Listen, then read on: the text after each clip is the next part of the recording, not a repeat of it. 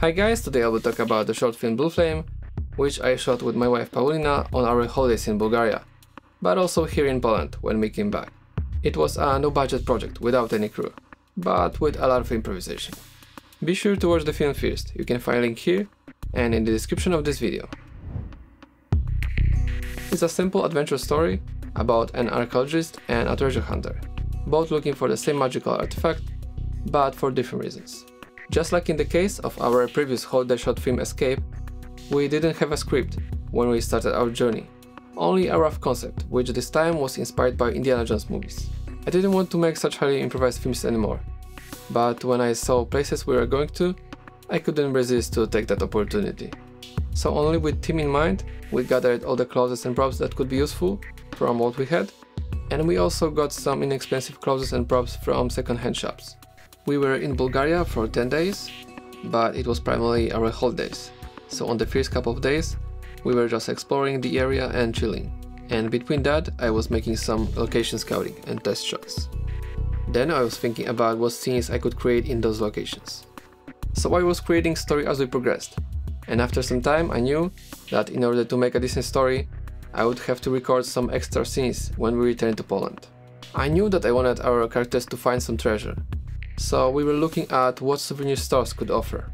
So I found that interesting looking stone, and an idea immediately came to my mind that it looks like a blue flame, and from that I created the rest of the concept.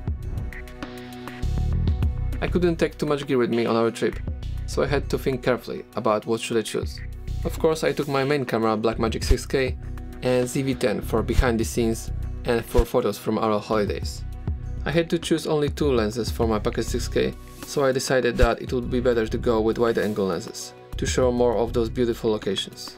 So I took Sigma 18-35 and Tokina 14-20. I also didn't have time to switch lenses too often, so I still used 18-35 most of the time. For powering the camera I used NPF batteries, because they are smaller than V-mount and that was more practical for me.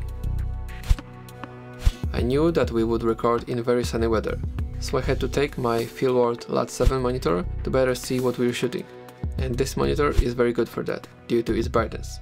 For practical reasons, all shots were either on a tripod or handheld, no gimbal.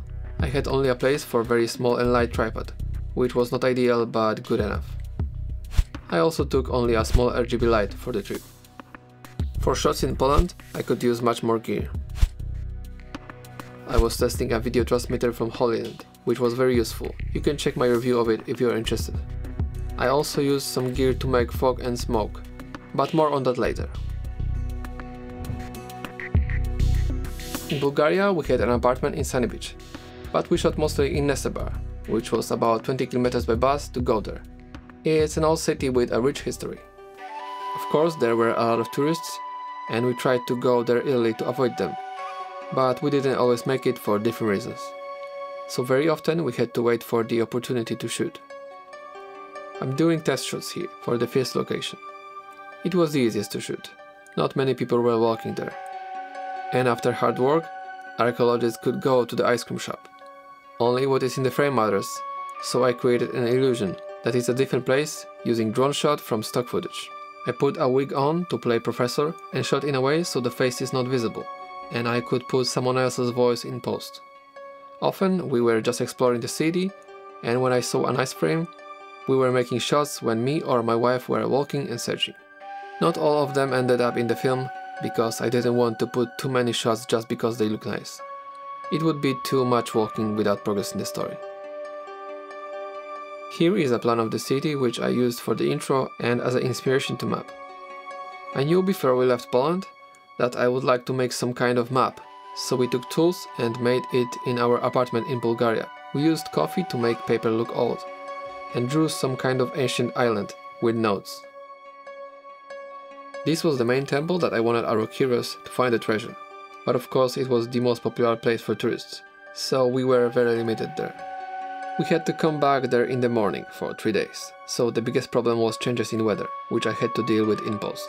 Also, the main spot, where we put our treasure, was always in shadow in the morning, which is not what I would wish for, and it was the only time in the day we could somehow shoot. My cheap tripod couldn't handle the weight of the camera setup, so I had to improvise and put a small stone to make it even.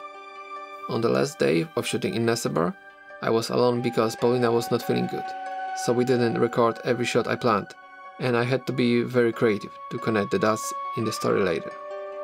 I was there very early that day, so I had a nice light. I realized that I have a lot of walking and searching shots, but not much action. So when I saw this place, I decided to make a movie trick, to make a climbing shot. I connected this one with a POV shot from another place. Earthquake shots were fun to do. We shaked the camera and tried to pretend that everything was moving. Tourists that saw us probably had a lot of fun too. I came up with an idea of an earthquake when I saw this destroyed wall. I thought that I could end up here after that.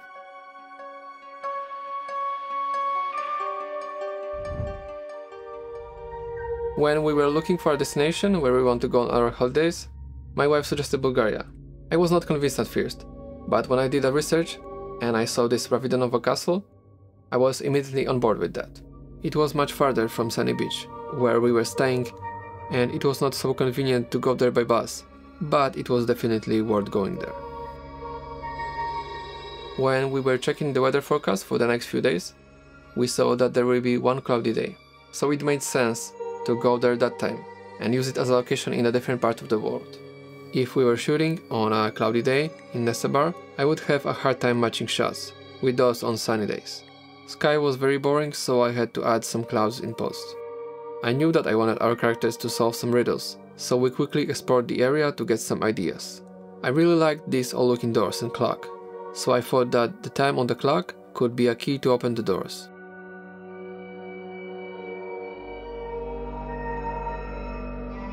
There was no castle interior that I could shoot, so I decided that I will find a location in Poland to connect those scenes.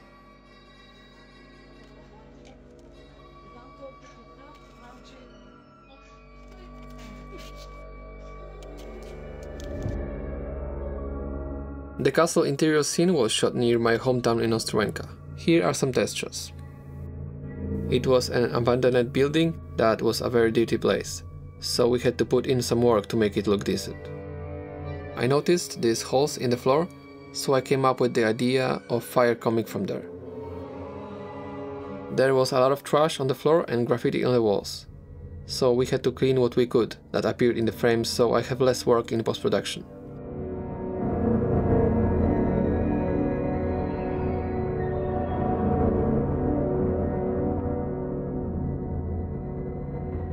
We painted some parts of graffiti with spray paint to a certain degree, so it's less visible in the camera. I wanted to add some fog to this scene, especially for shots with fire, but we didn't have access to electricity, so I couldn't use my fog machine. When searching for a cheap solution, I found a bee smoker, which is used in beekeeping to calm honeybees. It worked very well, but I would not recommend using it on long shots in closed interiors. It's not healthy for sure. I would use it only when you don't have other options, and for a short period of time. I put one white material in the first window and one black in the second one, to block the light more. I was setting my lights in different configurations, depending on the specific shot. I tried to make this place look bigger than it is in reality. I also added a mirror effect for some shots to make that possible.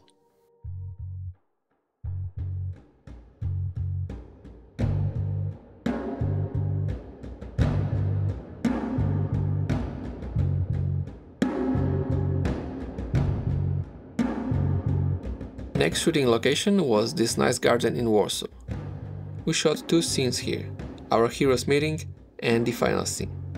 It was already a different, colder climate in Poland, so we tried to shoot in a golden hour to make it look warmer, so it could match Bulgaria's scenes better. It still didn't end up to be a perfect match, but good enough.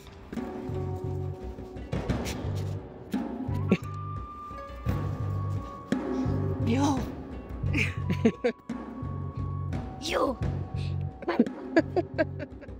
Due to limited time with that lighting, we spent 3 days there. But that was not a problem, because we live in that city. It was colder and we had to be in the same outfits as in Bulgaria, but the biggest problem was mosquitoes. Even here, we had to deal with tourists on set.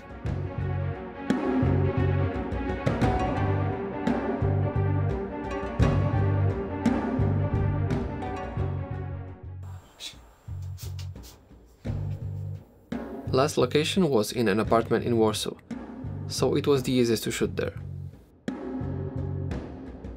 We tried to decorate the room so it looks like an archaeologist's office. I put a pinboard so I can add notes and maps there, and to hide the TV.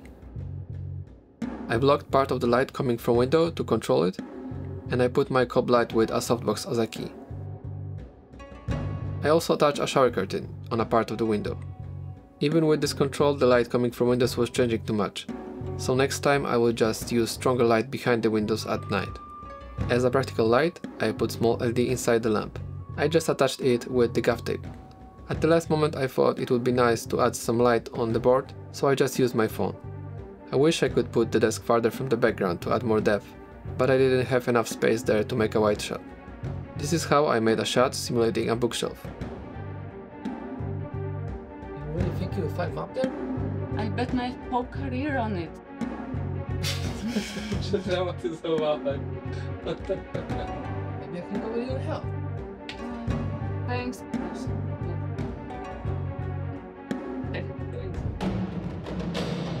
Now I will show you quick breakdowns of the VFX. I used a lot of stock footage in this short, but despite that it was still a lot of work. I'm sorry that I will not go to Resolve this time to show you the details, but there is too much mess in this project and all those VFX layers are hard on my PC. This was an easy effect. I used a small RGB LED to light the subject and I masked myself out in post. Then I just added a couple of green glow nodes in Resolve, and here is how it looks graded. In this case, I just struck the eyes of the knight, brightened it up, and added glow on helmet and chest armor with power windows. Fire was more complicated to make. I had to plan everything in advance to know how we had to move to avoid the fire. First of all, I had to lighten this long hall, but with only two small LEDs, I had to move it from place to place and connect everything together in post. Next, in post-production, I had to add a lot of layers of fire in a row, mask them so they appear from the hole, and then I added a couple of nodes with glow. This is full before and after. One LED was set to fire effect, so it looks more realistic with flickering. In some shots, I was also using a smoker close to the frame, when I planned the fire to burst out. Here I firstly added some shine effect to the stone and brightened the area around the stone with power windows. I also added light beams to make it more interesting and to lead the eyes to the stone. In this close-up I had to add a lot of power windows to make the stone pop out more from the background. I made the magic barrier by making a mask with some color changes and two animated effects, waviness and light rays. Finally I added a stock effect for hitting the magic barrier.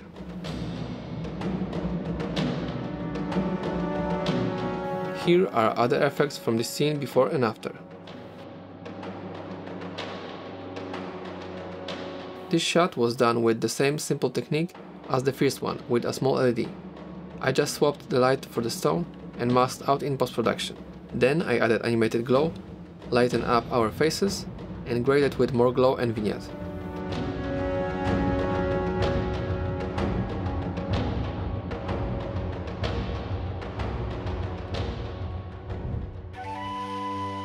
I will also show you the color grading process as a quick overview, but if you want some details about something, then just ask me in the comments.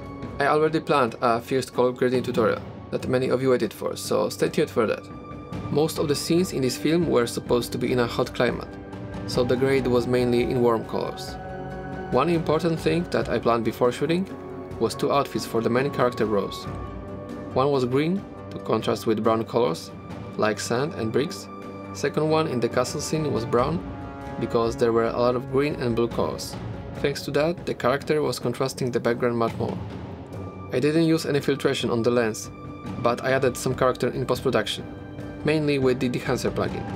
I used bloom, halation and film grain. If you are interested in this plugin, you can get it with my promo code, link in the description. Colors are inspired by Indiana Jones movies, but of course I added my own flavor. To get a little bit closer to those movies, which were shot not only on film but also with anamorphic lenses, I distorted the image to fake anamorphic look. I also plan to make a detailed video about that. Stock shots were oversharpened by default, so I had to soften them up so they look more natural. In these castle shots I had to replace the sky, I used the same technique as on the music video Reborn, so if you are interested you can check Making of Reborn on my channel, where I show my process of sky replacement. I decided to make this scene darker and colder, because it was supposed to be in a different part of the world, and I wanted it to be more mysterious. It also gave some contrast to the rest of the scenes in the film, which are more sunny. Even though we cleaned the walls to a certain degree, some graffiti was still visible, so I had to use heavy vignetting to hide them and to just add a more dark mood.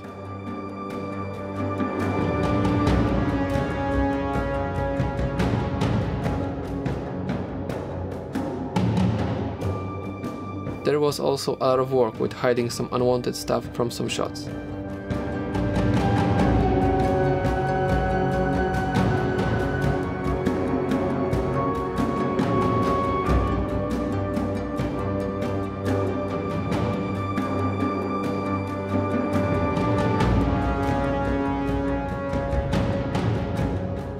I wanted to raise the bar this time and create some dialogues, which was very ambitious for us, with very little experience in acting and not in our native language. Now I know that it was too ambitious, so our next short film, which we already shot, will be in Polish. Although I found a great voice actor on a Facebook group who was willing to dub the professor's voice. I will link his IMDb page in the description. Sometimes I came up with dialogues on locations, so we didn't even have time to practice them. I don't recommend anyone to do that much improvisation. I knew that we would have to dub those dialogues in post-production, like we did in Hack the System, because it was not possible for us to record good sound on those locations. I tried to record some shots in a way that our faces are not always visible, so in post-production I could add some dialogues which I didn't have time to create then. Sound and music was the job of my brother Mikołaj, but because there was a lot of work with that, I also added many sounds to this film. Sound effects were either recorded by my brother or downloaded from the web. Only the Rose office scene uses original sounds recorded on set, because I was able to set a microphone there, and the sound was good enough to be used. For music, I gave my brother inspiration tracks, so he know what my vision is for the mood, and I knew that he would do a great job with that. Make sure to follow him on social media, links in the description. As always, I made a lot of mistakes making the short film, and I was aware of things that would not be perfect, even before we started shooting, especially script and our acting skills. But for me it was another project to get experience and learn new things, that will help me to make more serious projects in the future. We already shot our next short film, but I didn't even start post-production, so it will take some time to finish it. In the meantime, I will make other videos on this channel. If you have some questions or you have some requests about what videos you want to see on this channel, then write down in the comments. So I hope this video was helpful for you. If so, then don't forget to like, subscribe, and see you next time.